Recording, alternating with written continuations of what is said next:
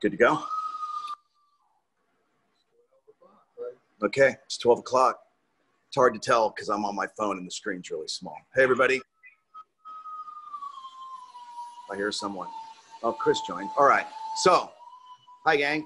I am Tim Butler, and we are here at Quality Letterpress, uh, going over the joys of letterpress for everybody for Design Week. Um, so, let me uh, really quickly tell you a bit about the shop and myself.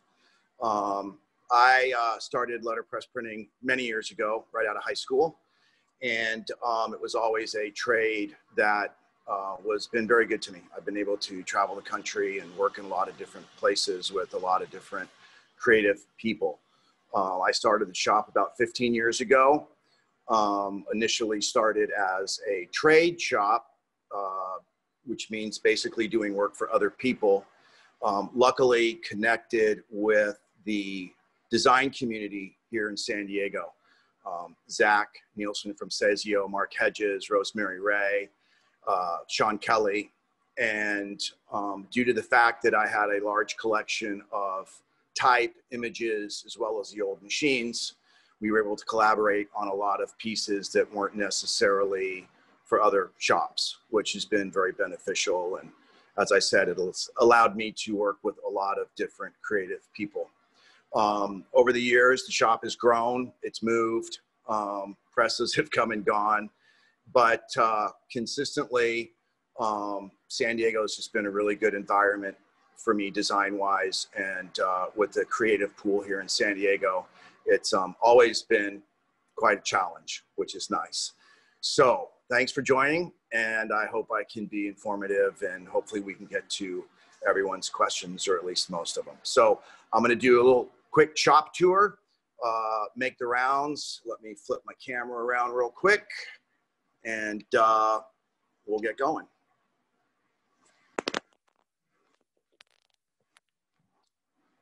Okay, so this is the shop. Currently, uh, in this edge of the shop, I am restoring a old show card proofing press. This is uh, mainly used to make signage and other large format pieces. So I'll be digging back into the wood type and images as I get this moving. You can see all these type cases are original. Some date back to the 40s, 50s. Um, I have a pretty extensive wood type collection uh, as well as lead type collection. Um, some small and as you can see, some big. Um, all these cases are currently full, either with handset wood type or images.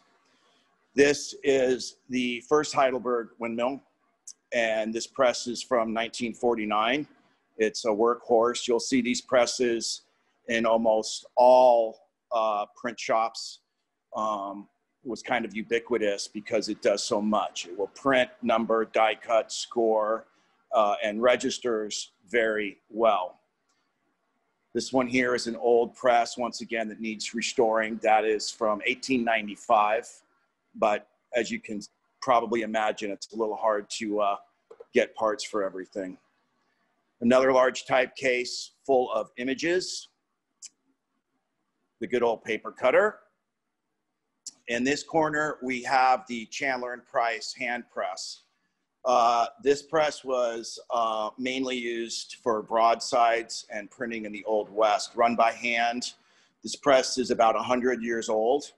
Um, it's currently set up for die cutting, but we'll be doing a little demonstration on that one a little bit later. Uh, lead saw. This is my Kluge printing press. Uh, this is my foil press.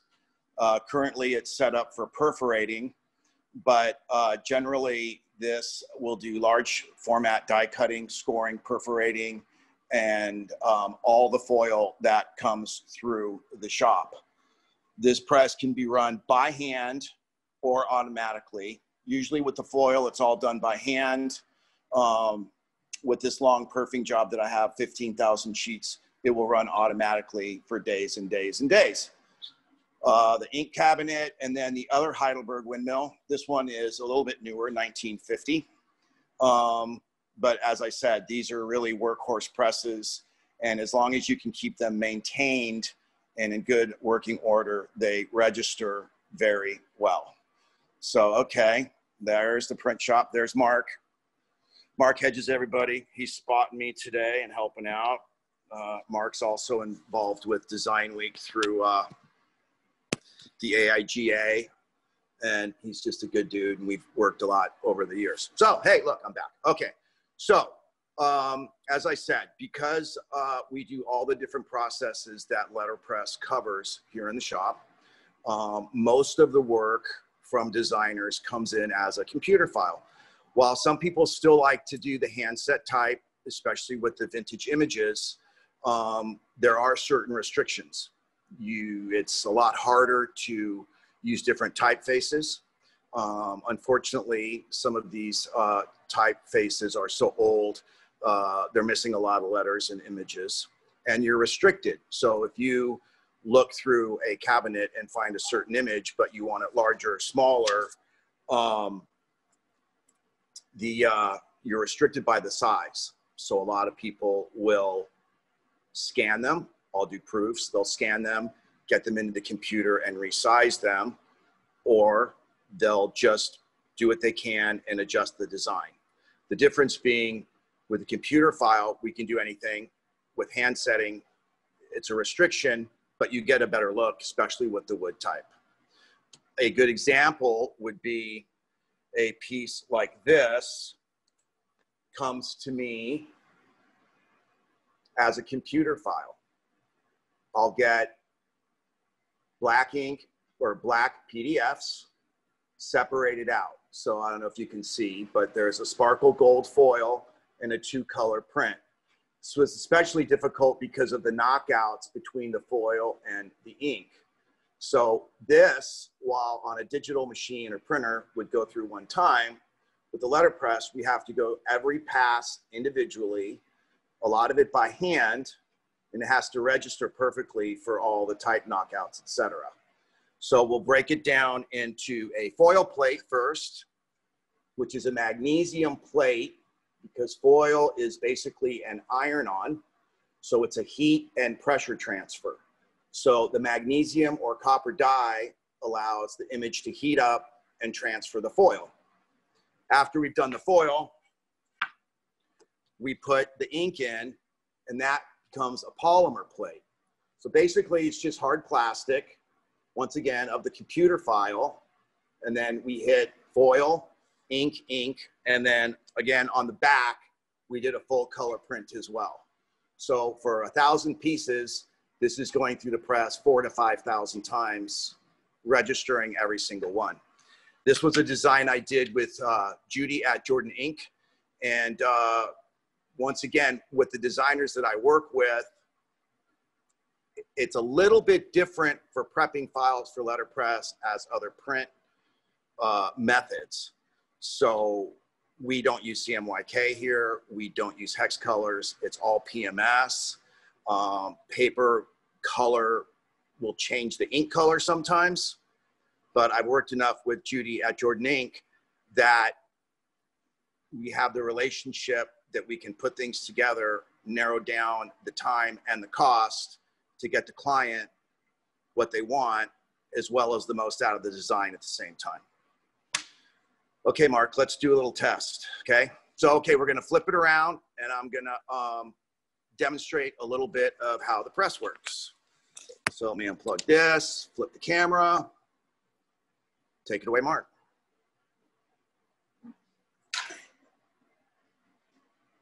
Okay, so this is the Heidelberg I was telling you about. The reason they call this press a windmill is because of the way it rotates. Down here, we have the type, which is set up in the chase with furniture, once again by hand. So what happens is the press will turn around.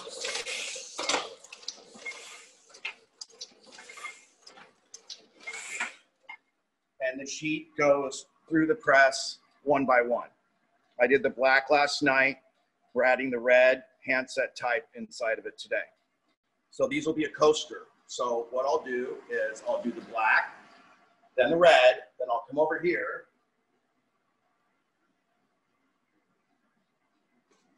to the hand press, it's old, so it runs a bit slowly.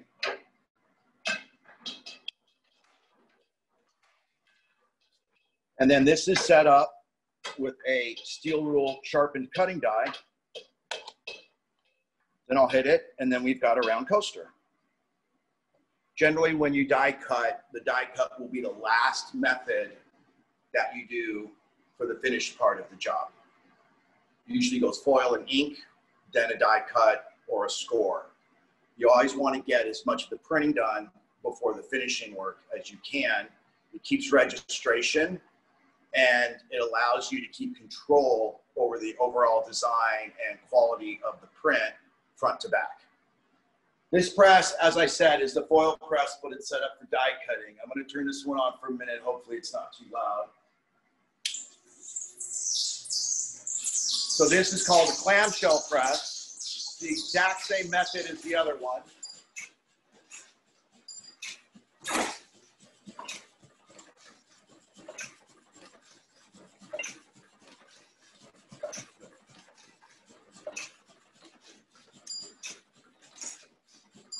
And so what this press is currently doing is, believe it or not, making fake license plates. So I get a pallet of blank paper, then I add the perforation and punch the small holes out.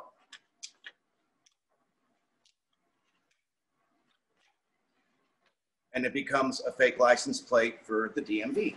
So if you bought a new car in the last year, you probably have one of these on your car, which is good work.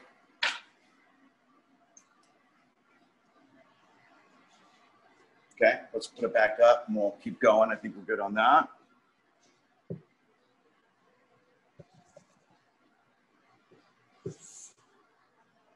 No, no, should we do questions? It's only 15 minutes. Let's see. I'm just debating. Okay, let's show you a few more samples of uh, what we do. A lot of my work is wedding invitations. Not currently, but I have built a bit of a reputation of kind of taking on difficult jobs for people, the stuff that people say they can't do. While there are other shops, really good operators, pressmen, and people that own shops that do the letterpress, I've kind of carved a niche with the collection of old type and images that I make available to designers. I'm also kind of known for somewhat for taking crazy requests and trying to get things done.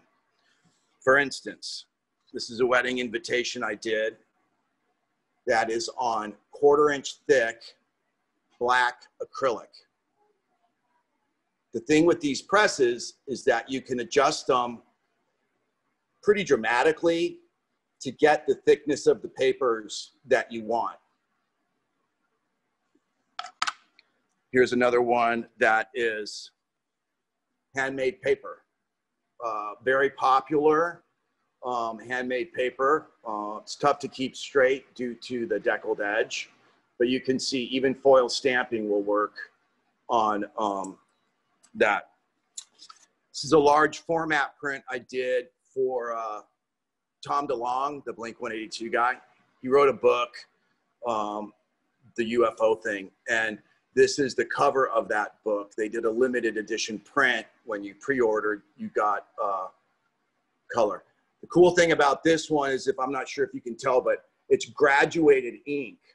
So what I did was this is a dark blue that fades down into a dark green. So keeping it consistently through while keeping all the screens clean was fairly difficult, but it was fun. He's a super nice guy. Another invitation. This was a two color foil with a large die cut. So once again, you start with the foil, started with the gold, then the uh, pinkish purple color, and then die cut the horse all the way around. Very large. I don't know what it cost them to mail it, but it was all good. So that's what I've kind of done. And what I do is I do make available all the resources in the shop. So a lot of designers will come in. I've proof typed for ad agencies where they'll take it back, scan it, and then they can manipulate it more in the computer. But more or less, what I do is work from computer files. It allows people to do a lot more intricate designs with typefaces, shapes, colors, stuff like that. The trick is, is that every color you do with letterpress has to have its own print plate and its own press run. So a single color is a lot different than two color versus three color versus four color, front and back, all that stuff. Mark's writing something down, giving me notes. Let's see. First question from Susan. What are some of the wood type I have? Well, uh, fortunately, I still have some of my wood type due to the freeze in work uh, six months ago. I did have to unfortunately sell off some of my collection to stay open, but I still have a lot of wood Hamilton type, some William Page type, uh, large and small. I've got a full case uh, of type, and um, most of them are fairly complete, a lot with punctuation and ligature. Um, but, you know, probably a good 10 or 15 drawers left. I also have a lot of large foundry type. Uh, the type we're using for this is an old foundry type that I found um, in a collection. A lot of people contact me to clean out garages or print shops that are closing down, or I get an email that said, My grandpa had a print and I don't know what it is. Can you value? As I said, it's been really great for me. I've been able to travel. I've gone to Jackson Hole, Wyoming, Massachusetts, a lot of different places. Do you do offset printing? No, I don't do offset printing. The difference between offset printing is think of it like this this is a cylinder and this is a cylinder. You have a plate for offset printing that has a relief where the ink will only stay to the offset plate. That image gets offset onto a blanket. As the sheet goes through those two cylinders, the ink offsets onto the paper. What I do with letterpress is it's an imprint. Originally, you were never supposed to hit letterpress deep or hard. It was not recommended. I was fortunate to learn from the people that were craftsmen and tradesmen that would go to LA Trade Tech in the 50s and their job was running a lead type typesetting machine or a press until they retired. I was able to get the last end of those gentlemen while they were still working. You were never supposed to hit type hard because type was made of lead and it was soft. And the harder you hit it, the type didn't stay up very well. It didn't keep a good crisp edge. The idea of hitting type hard really came about in the late 90s, I'd say, with the changeover to cold type. A lot of the old presses were getting scrapped. A lot of the high schools graphic arts departments were closing down, so they were scrapping the machines. Along with people making more handmade paper and thicker paper. So those two things combined, designers started buying the presses and they figured that they could hit this harder. Then along comes the fact that you could do a polymer plate or a copper plate, which is a lot stronger and more durable and lasts longer than the lead type allowed people to start hitting it hard. But when I was starting out, no, no, no, you were not supposed to hit type hard at all. It wrecks your type. We have another one? What's the coolest, weirdest job you've done? I did a job once. It was for a clothing company it was a magnetic ink and a mirrored foil. And when you opened the box, it had fingerprint dust, magnetic fingerprint dust, and a brush. And you had to brush away the fingerprint dust, and that would reveal the text for the invitation. That same company did a mirrored foil that when you opened up the box, all the type was reversed and you looked into the mirror to get your invitation. What's the Godzilla story? Uh, my friend Valentine Vianney, the painter genie, who has a shop down on the bottom of Reynard uh, L'Atelier. She's a silkscreen artist. I met her years ago. She came in to do a class at my shop because she wanted to buy a press. She spent a four hour class with me and decided there was no way she was going to buy a letterpress because it was too hard. When I moved to this location, she came in with her silk screens and put up uh, Godzilla, and I have a giant Jack Nicholson over there and an airplane from North by Northwest on my wall. So I collaborate a lot with Valentine. She has come in and I've proofed images for her. She does large silkscreen patterns and makes fabrics and coasters and other things. So she's become a good design friend. Do you do all the machine repair? Where do I get parts? I do all the machine repair. Fortunately, um, I was factory trained by a Kluge mechanic, and really, it comes down to if something breaks, you have to fix it. You don't really have an option. Parts, I have resources kind of all over the country. Uh, NA Graphics in Colorado is a good resource letterpress things in Chicopee, Massachusetts. John Barrett is a good friend of mine. Um, all over the country, uh, like any subculture, there's a group of people that support each other. Uh, even locally, if someone's short on foil or needs a job, help, or whatever, we're all willing to help each other because we are kind of all in this together. And even though they're doing the same type of work I'm doing, we're not necessarily doing the exact same work. You know, shop A doesn't want to do 150 acrylic wedding invitations. They want to do 100,000 boxes. But the community is tight knit, you know, just like the design community is here in town. Everyone has to support each other because that's the way we all get work is by helping each other out. Yes, press repairs are difficult some go easy, some are not easy, but patience is a virtue. It's like hand setting type. And you just have to go a little bit at a time and figure it out as you go. And a lot of luck.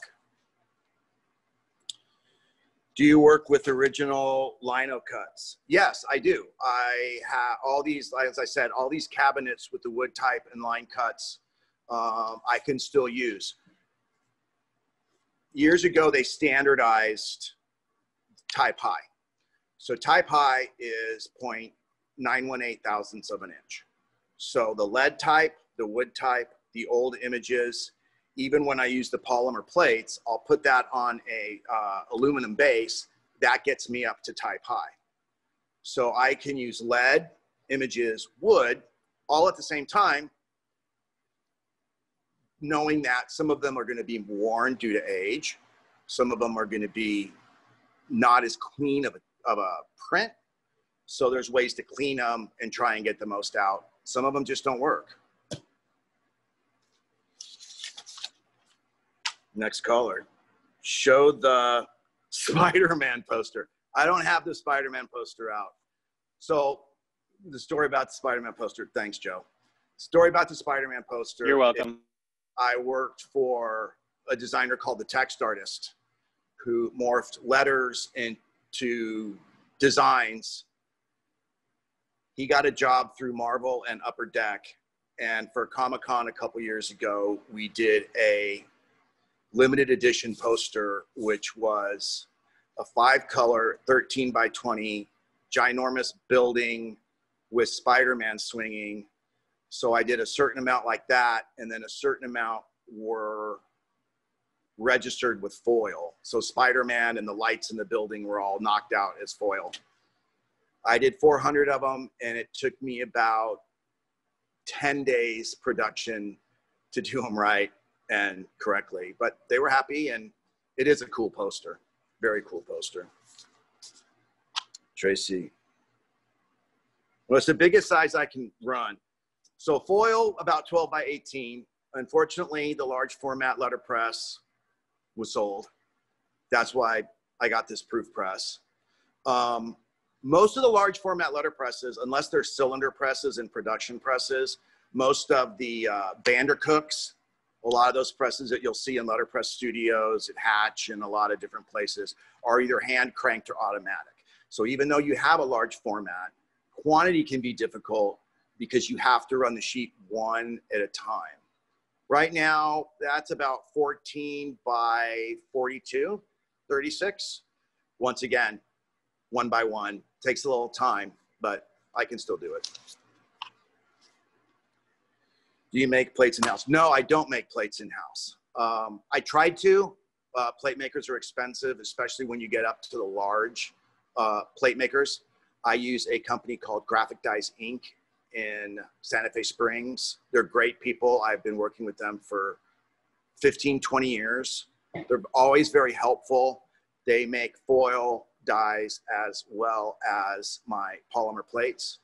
And for cutting dies, I use San Diego die cutting or coastal die cutting to make my uh, die cutting dies. Anything to keep in mind as a new designer, production tips. File prep. File prep is the most important thing. I could tell you gruesome. I asked someone to outline a file for me. I said, can you please save the PDF as outlines? I literally got the outlines back. Let me see the pen, Mark. And they literally outlined every letter like that. Or I say, can you please add crops to the file? And it's a business card file, and they say, well, I don't know how to change my crops to business card size from eight and a half by 11 artboard. So incredibly important to get the file prep correct. If you don't start right, it's not going to be good. You wouldn't start cooking with lousy food or expired food. You have to start with good files.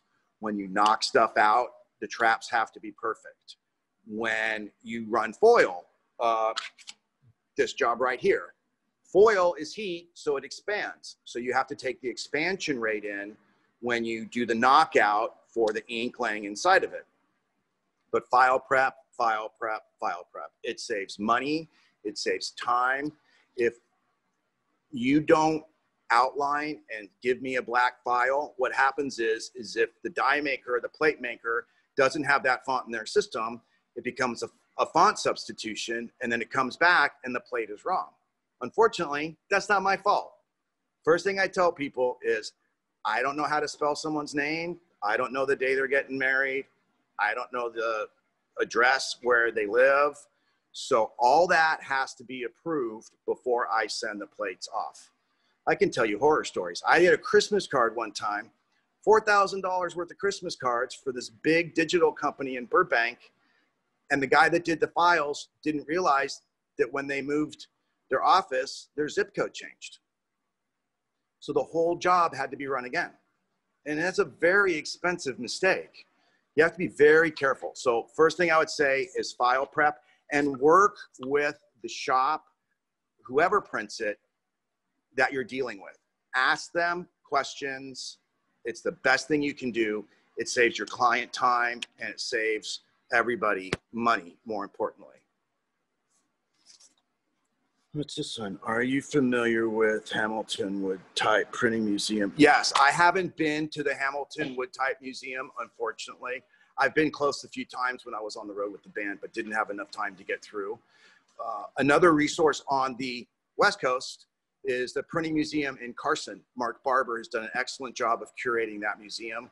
They've got one of the few replica Heidelberg Gutenberg or Gutenberg presses. They've got some great old grasshoppers. They've got great volunteers and docents uh, running the intertypes. I've worked with Mark a lot on repairs and tracking parts down and stuff. It's a great resource. They do a print fair every year where it's like a swap meet and you can get stuff, print stuff and everything like that great resource to check out. What's my favorite paper for letterpress? Mm, interesting. Cranes is a great paper. 100% cotton, tree free, great texture, works well, gets a good consistent impression, and it's expensive. And it's also the sheet size. I, right now, my kind of stock paper for invitations, uh, which comes in a 118 and a 236, is a Savoy, Reich Savoy. It's much more cost effective and the parent sizes are different. So on a crane sheet for $7, you'll get a 2026 sheet. On the Savoy for a 236 pound, you'll get a 26 by 40 sheet. So you literally double the amount of paper. That's good. The Wild is a really good stock. Um, just anything that gives a texture and a good impression. Thickness is always a consideration. It really depends on the job. Some papers are better for foil. Crane is not good for foil because of the rough texture. The cotton fibers don't want to stick together, so it's harder to get a good foil image on cranes than it is the Savoy. The paper that I'm using for the coasters, which is a 60 point R board, is so textured, foil just simply won't stick to it. So kind of job by job, but I like to, I do like the Savoy do you want me to run the press? You're supposed to ask them that. Oh, do you want me to run the press? Okay. I can run the press. I just know how loud it will be. Um, it's look, it's all good. The thing with letterpress is literally it's job by job. I have to treat every job individually because there are so many variables with each design group. I've consistently built a client base so that a lot of the wedding designers I work with, we have a set paper. Some of the wedding designers I work with, I don't even see them.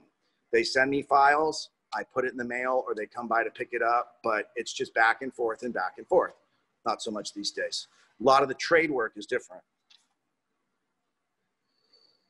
M&H still up and running. M&H.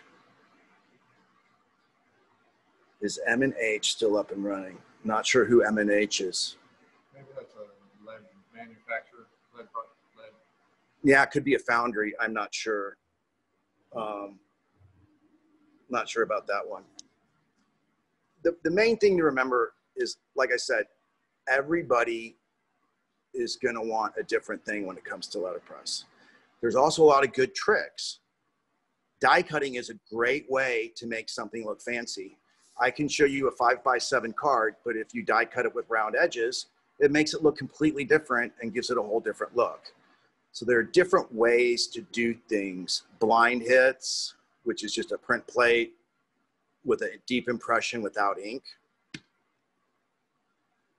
So a lot of it depends upon what the client wants and what they want to get out of the design. I'm not a designer. I don't pretend to be a designer. I don't run Photoshop. I don't run Illustrator. I see my role more of as a design editor sometimes. One of the issues I've run into with design firms is they will brand a big company. They do this wonderful design. They go to the company. The company says, We love it. That's exactly what we want. Then they come to me and they say, Can you price this out? And I say, Well, they don't make that size envelope. You're going to have to make them from scratch.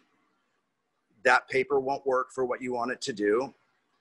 That paper is $15 a sheet and it's a mill order and it's going to take three weeks to get here.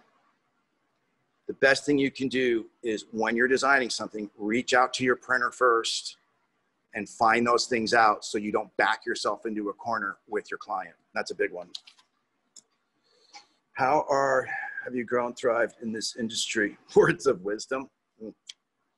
That's a tricky one. I think what has allowed me to grow and thrive has been the design community in San Diego. Seriously, I mean,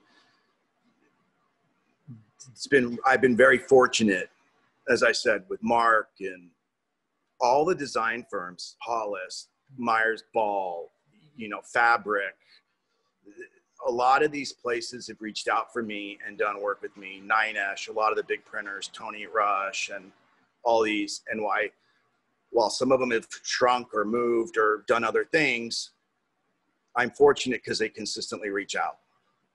It goes back to what I said about we're literally all in this together. Company A and Company B might be vying for the same job, but it's a lot easier if we're all supportive because one company thriving also opens up the other company to get the different job. It's really important. So I, I, would say, really, just be supportive of each other and easy, and it just works for everybody a lot better. But I'm really fortunate when I met Zach and Sean Kelly and those people. Those guys have really been consistent with me and supportive of the shop, and uh, I, I'm really blessed to be able to sleep in every morning, go on the road with the band when I want to, and bring my dog to work every day. I mean, I'm really fortunate, even in the climate that we're in. I can still work by myself. I still have trade work and still check in with people, and it's all good. There's no more questions. Oh my gosh, guys, we got time to go. Jeez, there's got to be more people than that. Run some, run some cards. Run some cards. Do you want me to run some cards? All right, I'll run some cards. We'll do more die cutting. Yes. All right. Okay, cameraman. All right, grab it. We'll run some more cards and then we'll ask, see if anybody has more questions.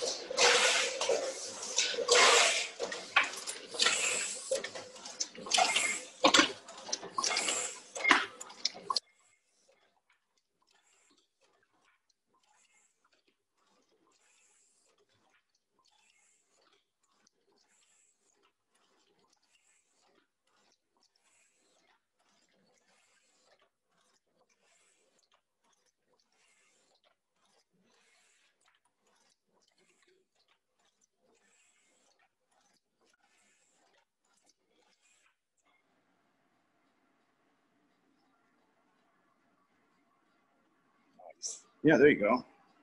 And like I said, I'm gonna die cut all these and get them to Mark. So when there's a meetup tonight Tonight, at Little Italy, Little Italy, downtown, AIGA is doing a wall graphic pop-up. Come down there between eight and nine o'clock and we'll have these out on the table. yeah, there you go. Get them while they last. This is the more tedious version of the die cut. This press is basically used for short run ink and small die cuts like this. It runs slow because I have to stick my hand in it and there is no brake. So even if I turn it off, it doesn't stop. So you really have to be careful and you have to be very aware. Um, and just very consistent. Ooh, there's a blind hit for you, Mark. There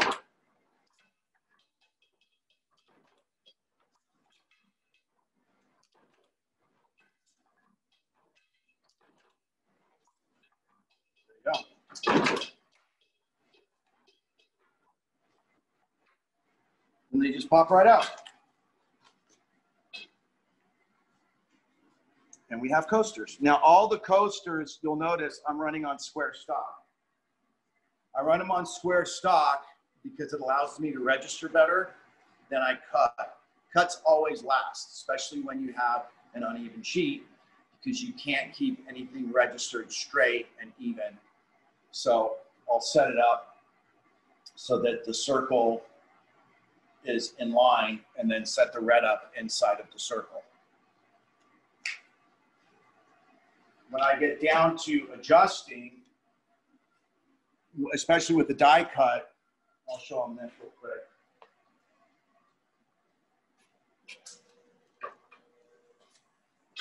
So this is a steel jacket, which allows the cutting roll not to damage the bed of the press.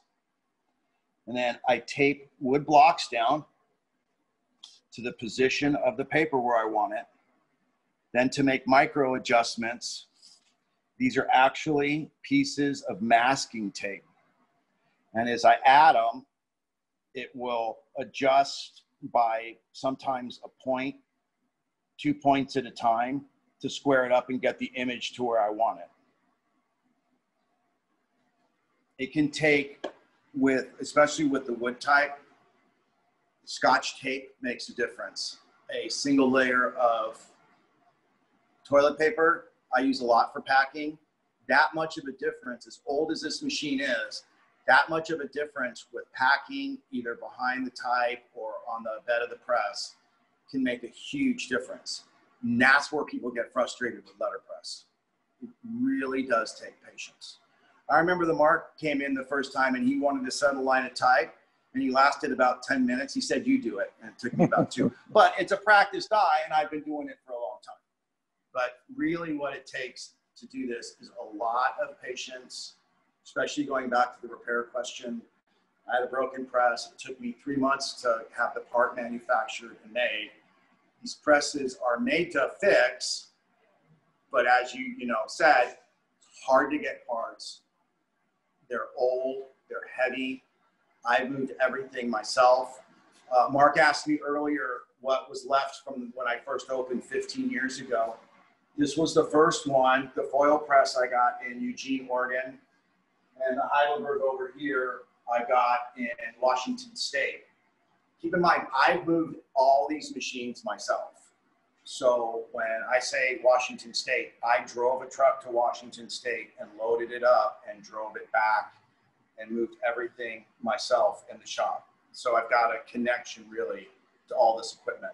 Same with the tables and the cabinets. The table over here, this printing stone came from the Bremerton, Washington newspaper. It's one solid oak cabinet. It weighs about a thousand pounds. And then it's got a one piece cast iron top. The reason they call these printing stones was because when you were hand setting type, you needed a flat surface. Wood will warp, it will ding, and it will dent. But with this, when you set your type, it's always going to be flat. That's why they call them printing stones. Uh, this one actually, this type case actually has a marble top. This case full weighs about 2,000 pounds. All these drawers are full of handset lead type. Each drawer weighs about 15 to 20 pounds. So there's, I think, 48 drawers in here. So you can imagine it was a little bit arduous to move. Same with the type cabinets. Um, part of the reason I get this stuff is it's just cool. That's why I have nine guitars. But I hate to see it lost as well. The reason I bought this type cabinet, I don't use any of these images really except for in classes and if someone asks for a vintage image or a certain kind of ornament. But that came out of a print shop in San Diego. So I have some great old San Diego images, um, the Jessop Jewelers clock, San Diego Consolidated Gas Company, really old, cool images that I would just hate to see tossed. I mean, like I said, I've been through a lot of presses. Mark knows I've been through a lot of machines in here, back and forth, dialing everything in.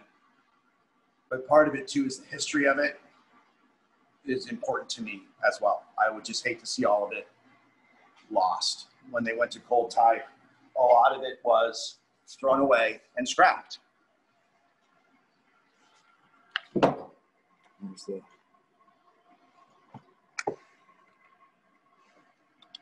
The San Diego drawer, the Parkway Bowl in El Cajon, um, the bell tower at San Diego State, an old Aztec. So um, a lot of them I just don't want to disappear.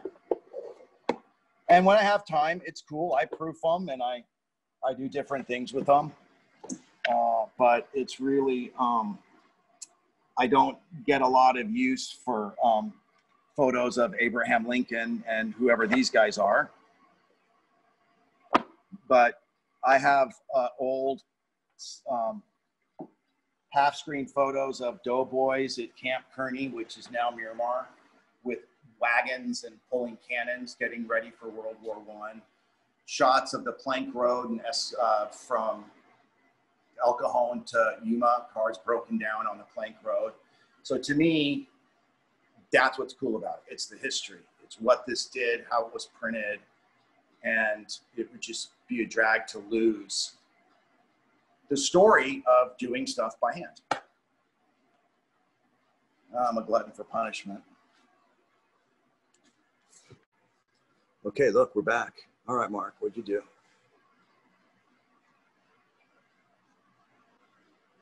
Okay, there I am. Is that Joe? I think that's Joe. Hey, Joe. Even Joe. Joe's got a press. Joe knows he can call me and ask me questions. And he's been down in the shop. We worked on quite a few jobs together. I think a lot of people on the, you know, chat thing or clients of mine. And like I said, I'm fortunate to work with cool, creative people. That's one of the bonuses of what I do. It's very helpful. Um, I've done shop tours for the Art Institute, for State, for City College, the AIGA. We've done posters, swag for the Y. Um, well, I did a few demos at the Y with a little tabletop press. So I see doing the classes and stuff like that as educating people to the process. If you know more about the letterpress process, you're going to be more confident in selling that process to your client. Not going to tell you that it's cheaper. I'm not going to tell you that it's faster because it's not. But it doesn't take much to make something cool. Splash of foil, a double paste, a quick die cut makes a big difference because still in this digital age, a business card is cool.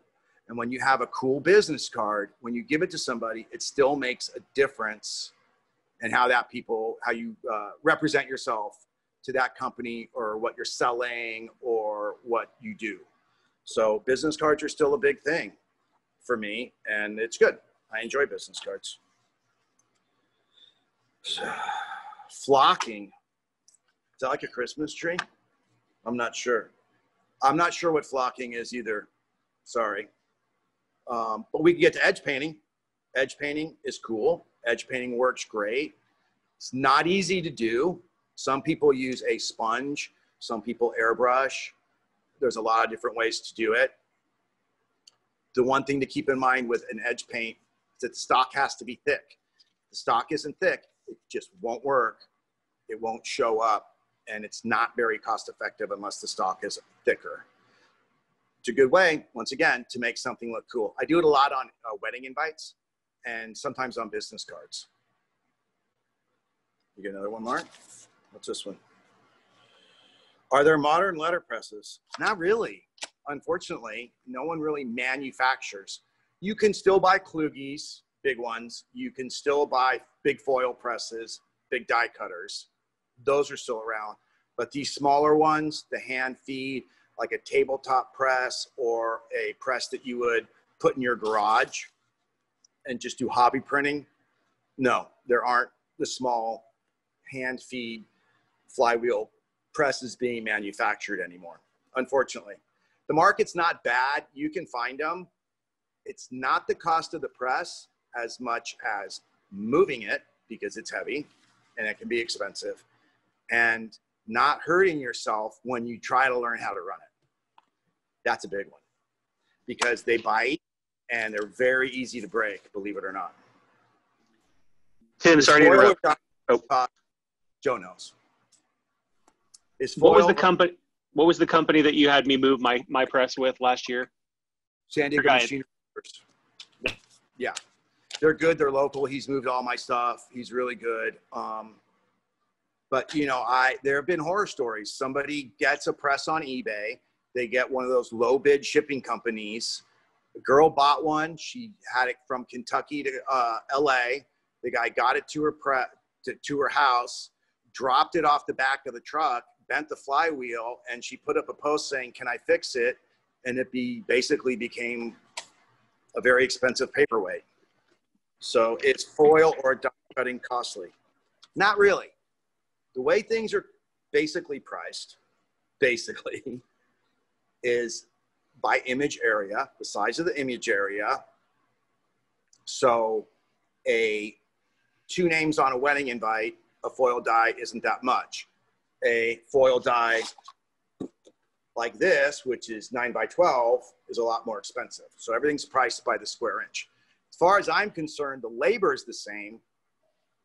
The cost is between a print plate and a foil die. I would say maybe 20% more costly. Die cutting, not really. The only trick with die cutting is that you have to buy a cutting die. If so if it's specific shape, it's a one-time thing. So a lot of with the wedding designers I use, they'll make a shape. I'll keep that shape on file. Then they can continually sell that shape to bride after bride and pay for the die one time. Can't really change a cutting die once it's made. A foil die will print foil and also do a blind hit. A print plate will do ink and a blind hit. But a print plate won't do foil and a foil plate won't do print, basically. Right, Mark? Yes, sir. Where are we? Oh, man. That was pretty quick, huh? Seven minutes. Seven minutes. So I really appreciate everybody hanging out. And I would really like to thank A, Mark, who's been my spotter today and very helpful as he always is. Stacy Kelly, who's worked extremely hard and is still working extremely hard. James and Tyke for all the Zoom help. I'm glad we figured this out and pulled it off. I know there are a lot of volunteers working hard, doing the events with Mark and behind the scenes. And I've been getting really great emails, and everyone's been really communicative and very helpful. Um, and really, all these people that signed in, letterpress is cool. I mean, it really is. Like I said, I'm not going to tell you it's cheap. I'm not going to tell you it's fast, but it's a good way to do a finishing piece on your design to step it up and make it look cool. Check with your printer before you go to your client. Always a good one. File prep, file prep, file prep. And uh, I really appreciate it. Crossing my fingers, if all goes well, hopefully in October, if you keep checking the website, qualityletterpress.com, I'm going to try and do classes again. Production's been slow and it may only be one person at a time. But if I can get back to maybe one or two classes a month and get everybody in, and it's really cool, you get to pull type, lock it up, talk to me, dig through stuff, learn stuff, run some stuff on the press. It's very cool to do. And you can always printertim at gmail.com, ask me questions. I'm around, not early, but I'm around. Oh, and Tonight. swag, get the get the swag tonight. It's actually STD. Oh, they can read that right. All right. So I'm reversed. So yeah, swag it out tonight with Mark down Little Italy. Thank you, Stacy, and everybody. And um, you guys be safe, be well, wear a mask. All right. Talk to you soon.